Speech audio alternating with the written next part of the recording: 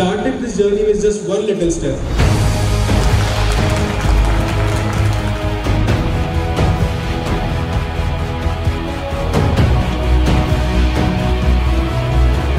सबने कहा बड़ा लंबा समय लगा।